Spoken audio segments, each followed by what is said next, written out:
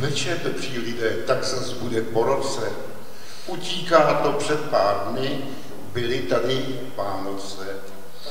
My je máme taky rádi, tyhle svátky míru. Jenom vždycky do rozpočtu udělají díru. A vůbec nic mezi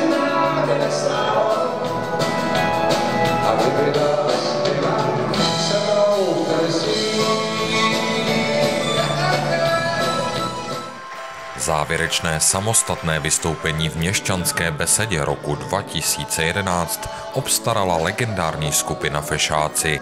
Kapela, která baví diváky svým nenapodobitelným způsobem již od poloviny 60. let minulého století a v jejímž středu se za tuto dobu vystřídali desítky slavných umělců, včetně Michala Tučného, se do záporočeské metropole vrátila již po několikáté. Tentokrát s osvědčeným programem Vánoční salon. Jak už samotný název napovídá, hrály se skladby s vánoční tématikou, ale nechyběly ani starší pecky či novinky z posledního alba. Já mám prostě hold na ty Vánoce takovou smůlu.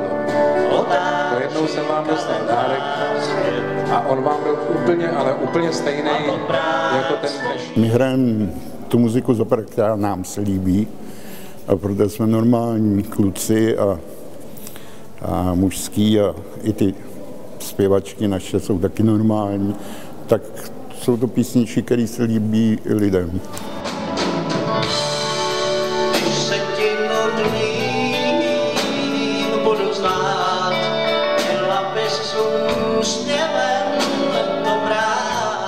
My se do těch měst vždycky vracíme jednou, dvakrát do roka a snažíme se vždycky do toho města přivést nový program. Nastudujeme nové písničky, nové premiéry, nový program a zkrátka dobře snažíme se, aby ty lidi, kteří nás přijdou, viděli vždycky něco nového. To je takový náš, takový, jako naše filozofie těch představení. František Pátek se narodil v roce 1937 a už jako malý šestiletý skautík pomáhal stavět barikády s Václavem Klausem bývalého režimu škodil tím, že prakticky nikdy nepracoval.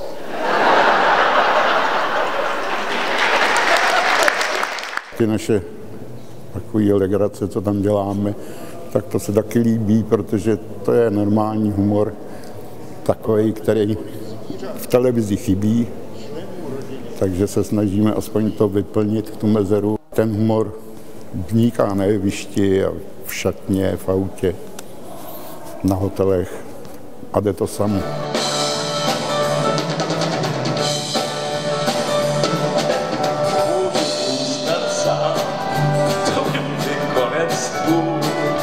já to radši zdám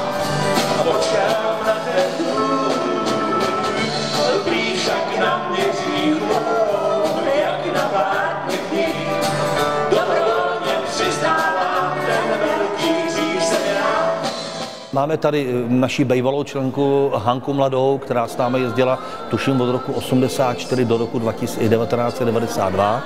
Ta je tady s náma dneska, vrátila se k nám po asi 15-17 letech. Já v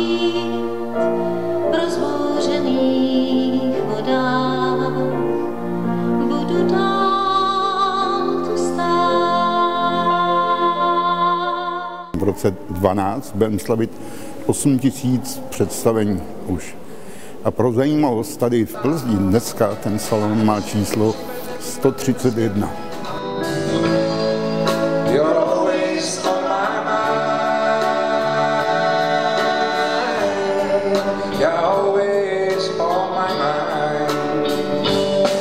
Příští rok mají fešáci 45 let a tam mimo jiné, že s náma budou jezdit naši bývalí členové, i Petr Novotný, Pepik Nalský, Pepik Mladý a tak dále, tak tam na Michala hodně vzpomenem. Pojede s námi jeho dcera Michála, takže minimálně taková třetina pořadu bude věnovaná Michalovi 100%.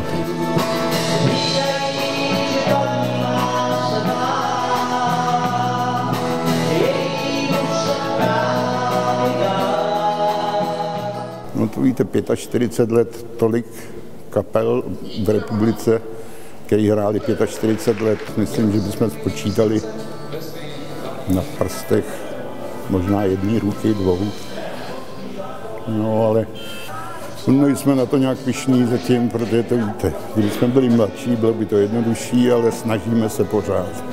Snažíme se a jak jsem říkal, do té padesátky, už jsme to padesátka anebo 10 tisíc představení. To by bylo krásný, je náš cíl. Málo